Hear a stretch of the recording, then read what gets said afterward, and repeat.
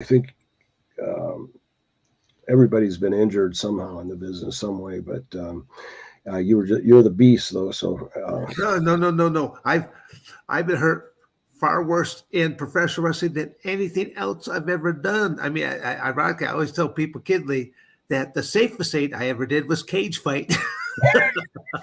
no way. That was the safest thing I ever did. Every interview, man, it's crazy.